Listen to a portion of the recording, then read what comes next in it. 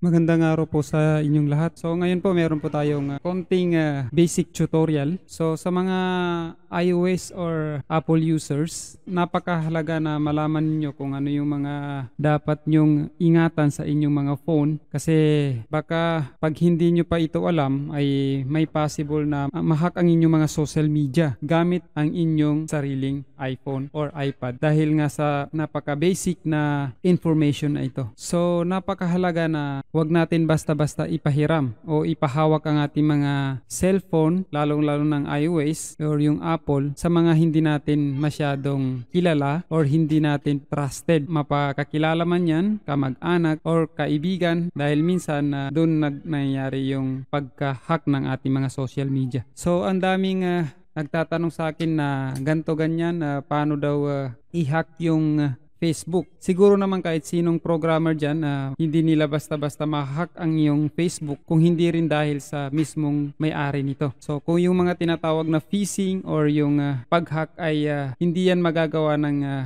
hacker kung wala yung tulong or yung uh, cooperation ng mismong may-ari. Pero minsan, hindi natin alam na nakaka-cooperate na pala tayo dun sa pag-hack niya. So, sa video ito, ipapakita ko kung paano natin maiiwasan na ma-hack yung ating mga social media account sa simpleng uh, tutorials na ito. Kaya napakahalaga na huwag nyong basta-basta ibigay yung password nyo dito sa ating, dito, sa ating phone katulad nito. Okay? So, ayan. So, wag na natin patagalin. So, kung bago ka pa lang sa channel na to, wag nyo pong kalilimutan i-like at comment dyan sa may comment section. At uh, i-subscribe po ang ating YouTube channel or di kaya i-follow ang ating Facebook page. At uh, let's get started. Disclaimer. The information available on this YouTube channel is for educational and information purposes only. If you are in Google go to search bar and encode Euretech. Hi guys, before we start, Remember to smash the subscribe button, and hit that bell notification, so you are always keep updated in my upcoming uploads. So, unang lahat, ito po yung possible na papasukin sa inyo ng hacker sa mismong unit ninyo. O kung may gustong kumuha ng inyong Facebook accounts or kung anong social media accounts yan, ito ang kanyang papasukin. Kaya beware at least alam na ninyo kung ano yung mga pag-iingatan ninyo. So, kung may nanghiram sa inyo, much better na huwag ninyong ibigay yung password. Kayo na mismo yung mag-open. So, unang-una, pasok tayo sa settings. So, ito. Uh, sa susunod na video, ipapakita ko kung paano naman to ilalag out kahit hindi natin alam yung password. So, malalag out yan or mapapalitan natin ng password yung Apple ID kahit hindi natin alam yung password.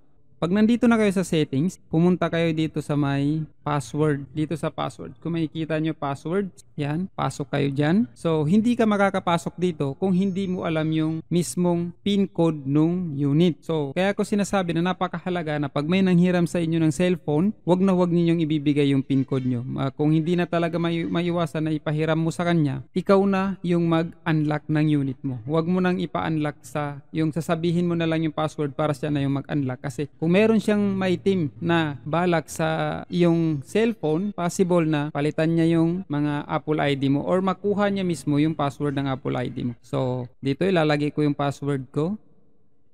So, ayan. Dito makikita natin lahat ng password uh, ng phone na to. Nandito yung password sa Lazada, nandito yung sa Paymaya, Roblox, Shopee, at uh, yung mga email account nandito lahat. So pag binuksan natin yan, kunwari itong sa Roblox, ayun, kung makikita nyo, yung username at saka yung password, hindi lang makita kasi tinakpan ko. Pero dito sa word na password, ay andyan yung password, nakikita. Kung nag-login kayo sa inyong Apple ID, dito sa may Safari, possible na makuha niya dito. Mal- ma- malagay dito sa inyong sa autofill dito sa passwords mismo. Kaya napakahalaga na katulad nito itong Yahoo ko, Ayan, personal account ko ito. Kung iba yung nakapasok nito, makukuha niya yung mismong password ng aking Yahoo account. So, pag nakuha niya, may possibility na pwede na niyang palitan or pasukin yung aking Yahoo. Yun lang naman yung ating kon dito. At least aware kayo kung ano yung mga pwedeng mangyari pag pinahiram ninyo sa mga